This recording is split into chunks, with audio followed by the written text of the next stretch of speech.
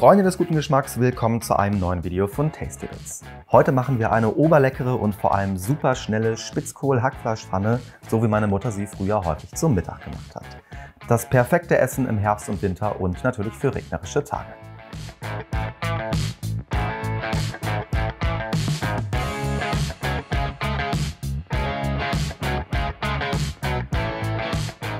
Den Anfang macht dieser Kollege hier. Das ist ein Spitzkohl mit einem Gewicht von um und bei einem Kilo. Den werde ich jetzt zunächst mal halbieren und dann in Viertel schneiden. Denn ganz wichtig ist es beim Spitzkohl, dass ihr den Strunk entfernt. Da stecken Bitterstoffe drin, außerdem wird das Ganze nicht so wirklich zart und weich beim Kochen. Also gerne großzügig mit dem Messer abschneiden und wie gesagt den Strunk entfernen. Wenn das geschehen ist, dann könnt ihr den Spitzkohl in mundgerechte Stücke schneiden. Da müsst ihr jetzt nicht super penibel vorgehen, weil der Spitzkohl später in der Pfanne oder im Topf sowieso noch ein bisschen zusammenfällt und kleiner wird. Also einfach so ein bisschen grob durchhacken, dass ihr schöne mundgerechte Stücke bekommt. Und wenn das geschehen ist, dann können wir uns auch schon auf die andere Seite der Küche begeben und zwar zum Herd.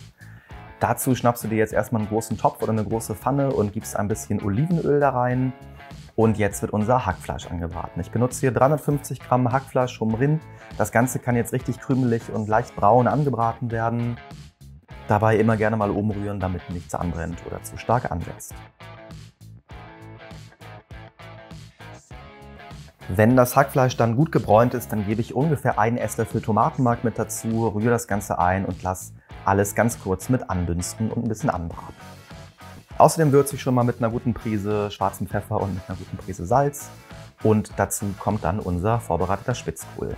Ich habe den nach dem Schneiden noch gewaschen und noch ein bisschen abtropfen lassen, falls noch irgendwie Verunreinigungen dran sein sollten.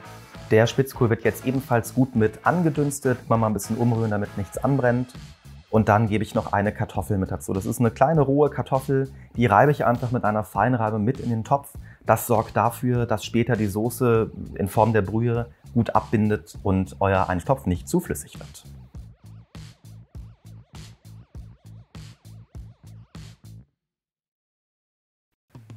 Und ihr könnt hier auch schon wunderbar sehen, wie der Kohl leicht zusammenfällt. Immer mal ein bisschen umrühren, ein paar Minuten andünsten lassen und schließlich geben wir dann noch unsere Gewürze mit dazu. Ich habe hier zwei Esslöffel edelsüßes Paprikapulver und außerdem ein Esslöffel geräuchertes Paprikapulver. Ich empfehle euch das unbedingt mal auszuprobieren, denn das gibt diesem Eintopf einen richtig schönen Geschmack. Dann lösche ich alles mit 300 Millilitern Gemüsebrühe ab und schließlich kommen noch ein paar Gewürze in Form von einem Viertel Teelöffel Kümmel mit dazu. Der unterstreicht nicht nur das Aroma, sondern hilft auch bei der Verdauung. Außerdem kommt ein bisschen Muskatnuss mit hinzu. Ich habe hier einfach eine kleine Prise frisch geriebene Muskatnuss dazu gegeben. Und weiterhin dürfen natürlich eine gute Prise schwarzer Pfeffer und Salz nicht fehlen.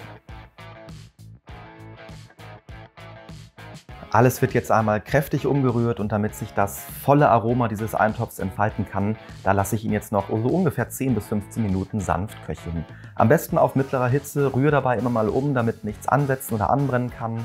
Und dann ist dein Eintopf auch schon fast bereit zum Servieren und zum Anrichten.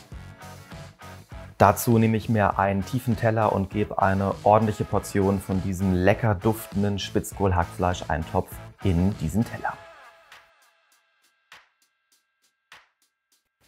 Und was als Kontrast zu diesem wärmenden und deftigen Eintopf richtig, richtig gut passt, das ist ein kühler Dip, beispielsweise Sour Cream, Joghurt oder einfach ein bisschen Kräuterquark. Ich verlinke euch gerne mal das Rezept für meine Sour Cream. Das findet ihr zusammen mit dem Rezept für eine leckere Folienkartoffel.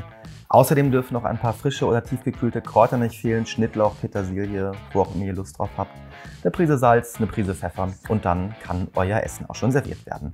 Ihr seht also, so schnell und einfach ist dieser wunderbare Herbsteintopf aus Spitzkohl und Hackfleisch dann auch schon fertig. Ich verrühre gerne alles miteinander, dann schmeckt mir dieser leckere Eintopf an so einem regnerischen Tag wie heute besonders gut.